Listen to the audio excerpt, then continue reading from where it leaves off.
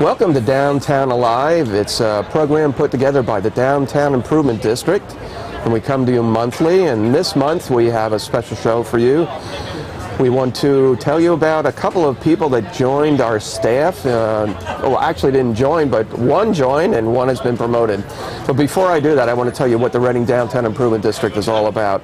We're all about safe, clean, and green for the downtown area of Reading. Uh, we have an ambassador team that goes out and provides safety checks and cleans the streets and the gutters and, and the sidewalks.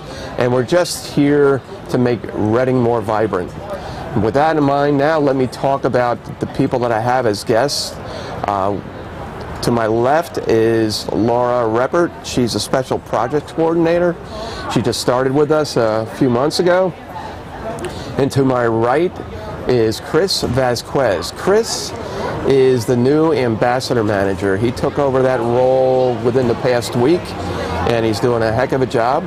Prior to that, he was supervisor of the ambassadors on the day shift. So let me ask a few questions uh, of both of them. I'll start with Laura. Laura, well, tell us exactly what your role is with uh, with the, the DID.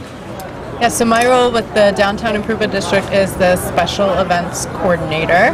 And what that means is helping to organize events such as the Midday Cafe, the Downtown Alive Concert Series, the Fire and Ice Festival, um, and it's things like booking musicians and food vendors and securing permits and just helping to add a sort of life to downtown for free events Yeah. for residents of the city of Reading. Okay. Uh, give us a little of your background prior to coming here, what, what you've done in the past, and Well, it's funny because my background is not doesn't doesn't fit with this at all. Actually, my background is in agriculture. I farmed for many years, doing dairy farming and vegetable farming. Um, and then through some volunteer work, I realized that I really liked this sort of community organizing role, and it led to the job of the Downtown Improvement District. But I find that there are similarities between farming and event planning because, like in farming, with an event planning, you're planning for that like one day, that one harvest, and all these things happen along the way. You just gotta be flexible and go with the flow to pull it off. okay, good. Before we go any further, I'd like to point out that we are at a midday cafe today. We are it's at uh, the Berks County the Courthouse uh, slash, services Service center, Center. the county services center, Right, and reading and- court. and uh, of course Laura and Chris were very involved in pulling this all together. So we're, we have a great day to do this and uh, a great location to, to do our show. Um, I wanted to ask you also, Laura, what? Now I forgot what I wanted to ask you. Let's go to Chris. Chris, what what is your uh, what's your role as the ambassador manager? Well, my role as ambassador manager is, uh, well, I, I have a crew of 12 guys, which I, of course I have to manage and I have to make sure things get done, and I'm the go-between between Street Plus and the downtown improvement district. Okay, and uh, who did you replace? I've actually replaced Shane Hillard. Uh, I've been training with them for the past six months. Just got the promotion about a week and a half ago, and I'm excited to, really excited. Good, good. Um, as a matter of fact, we have uh, a video that we shot of Shane prior to him leaving that uh, we'd like to show now if we could. Here comes Shane Hillard, our ambassador's manager. Hey Shane, how are you? Great, how are you? I'm good. Hey, we're uh, here today to talk to you about uh, your final days with the Reading Downtown Improvement District.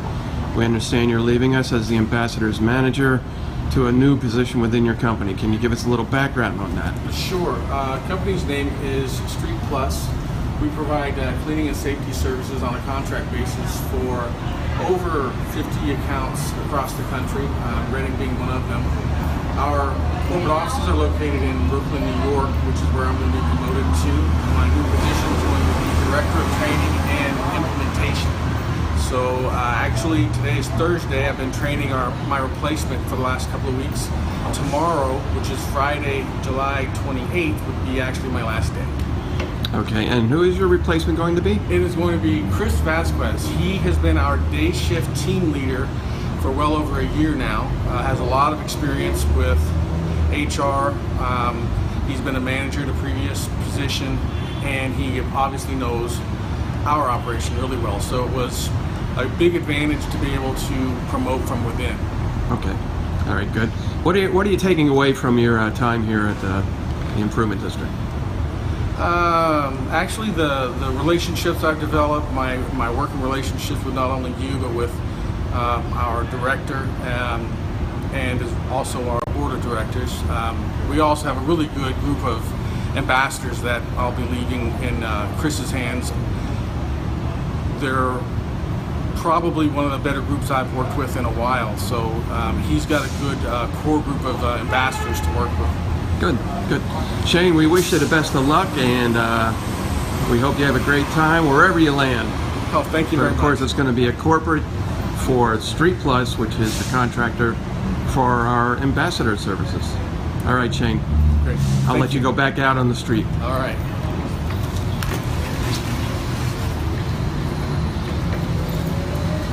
Hi, we're back again. I'm Carl Brown, Special Projects Coordinator for the Reading Downtown Improvement District. I have with me Laura Reppert, Special Events Coordinator, and Chris Vasquez, who's our new Ambassadors Manager. And I want to ask Laura a question. Laura, you have a lot of involvement in the community, and you think that's lends, lends itself to the position you now have with the Improvement District?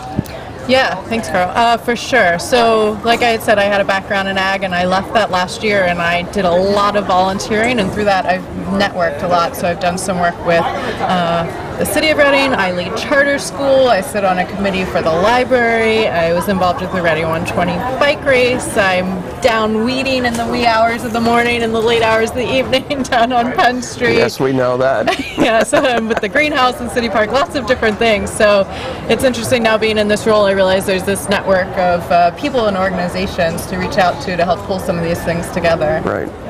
And are you are you enjoying the job so far? I am enjoying the job, and I love working with our staff. Our Good. ambassadors are great. Okay, good to hear. Okay, I want to ask Chris a uh, couple questions now.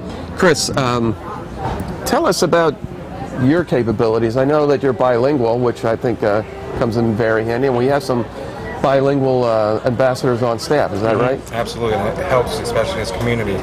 It's a largely based Latino community, so it's a it's, it's a good tool to have around here. Yeah. And you, you find yourself being called upon to to translate. absolutely, with especially with a lot with directions. Directions. Uh, where's where's the courthouse? Right. Where's you know where's the bank? Where's the DoubleTree? So. uh, And share with us some of the services that we do provide through the ambassadors. Well, some of the services, of course, besides the cleaning uh, services that we offer, we offer uh, an escort service. So basically, they can call us and we'll meet you at your office or your car, and we'll walk you to your de- your destination. Okay, that's that's good for safety purposes. Absolutely. gives people peace of mind. Absolutely, and of course, here at the midday, you can see our service as we set up the event. Right. So we set up, we, we set up and break down, and clean afterwards. Right. Okay. All right. Let's uh, let's go back to Laura once again. Laura, we've had uh, several midday, not midday. I'm sorry, several downtown alive concerts so far this year, and I know that uh, they've been successful. Do you want to touch on any of uh, those shows that we had so far, and what what's involved for you to pull those together? Yeah, so the Downtown Alive concert series is a series that's funded by the Berks County Community Foundation and Weidenhammer. And it's a free concert series over the summer. We do five concerts. We shut down the entire 500 block of Penn. And then we have food vendors come out, and there's music, and there's different information tables. And we're adding something new to the next concert, which is coming up on August 16th. And that is some uh, performers. So we'll have a magician and free face painting, and someone doing balloon animals. And then there also is going to be a little surprise dance performance as well from some local dancers that were part of the This Is Reading performance at the 7th and Franklin train station recently. Great. So, Great. And tied into that, uh, People Chronicles, uh, a local organization, has done videos for us on Downtown Alive concerts. And we have a couple of videos that we'd like to show now. So if we could go to those, please.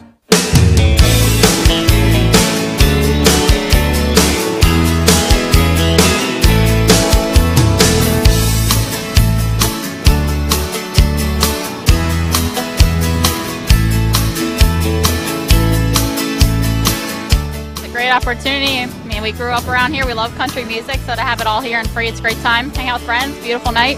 Can't get any better. It's awesome to have an event that's downtown, it's free, it's family friendly, um, and yeah, just show people that the city of Reading is a great place to be.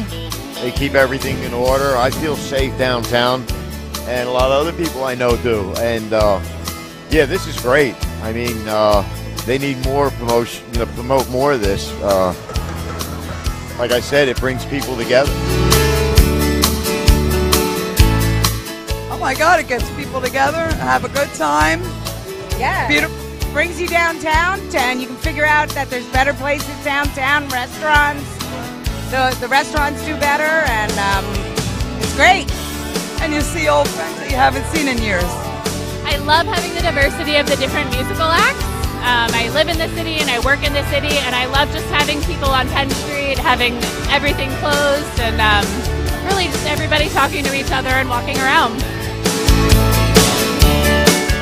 for the community and its vibrancy, I think it's a great get together for one another to see people that you don't see and because people you wouldn't normally happen upon, you get to have conversations with and enjoy free music. But it help bring people in from out of town to bring people in here to see what's going on in the city, I think they're doing a great job. I think it's great. I think uh, the, the, the, how all the businesses can thrive through this and uh, the social aspect.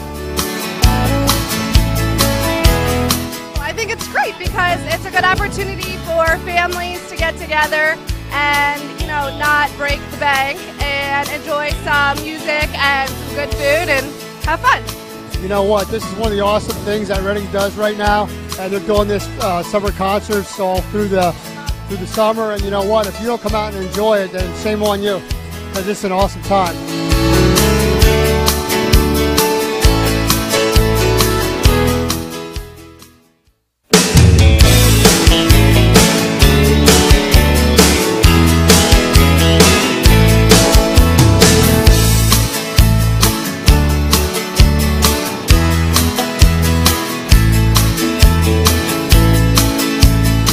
Downtown Reading projects, uh, revitalization.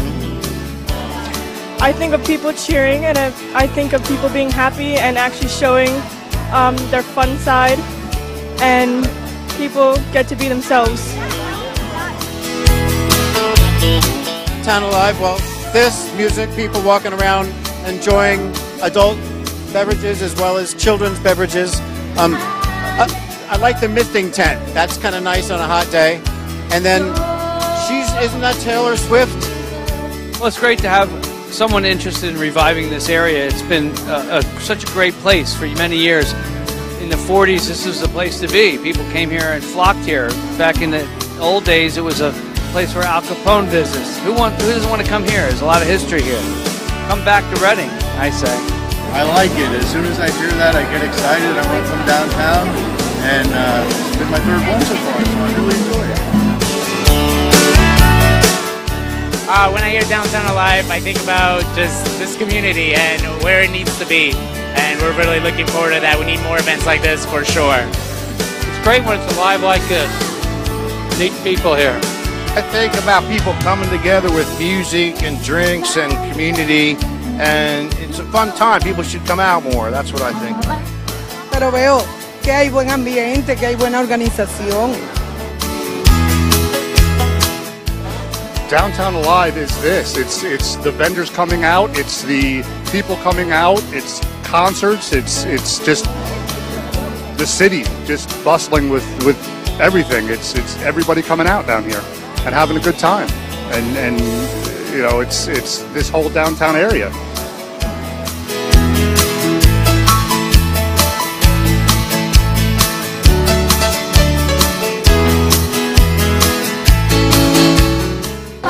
You enjoyed those videos uh, presented by the People Chronicles. Uh, they pulled those videos together for us, uh, giving us uh, snippets of what the Downtown Alive free concert series is all about.